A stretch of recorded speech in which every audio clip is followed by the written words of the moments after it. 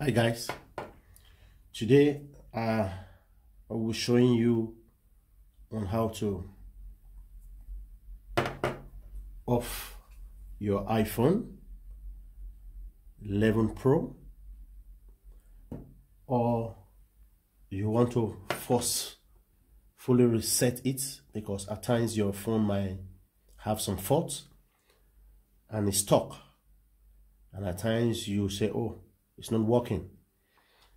And you, what you do in this kind of a case is you're going to be working with the power button which is this. The power button which is this. We're talking of the volume up and volume down. But first of all if you want to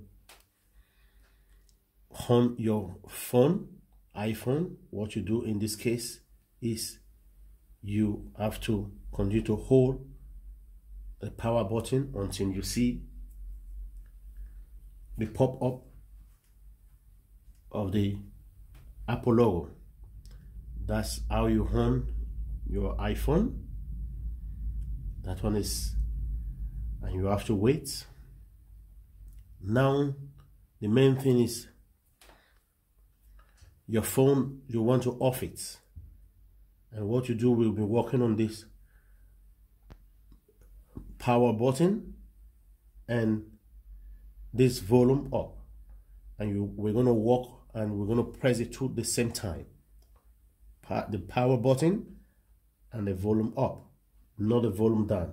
Because there's a volume down there's a volume up. What you do in this case is you go for the two the same time you see?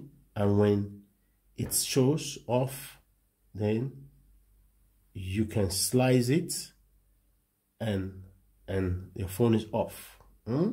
that is on one part because for the use of those ones who might not be able to know how to off it this is how to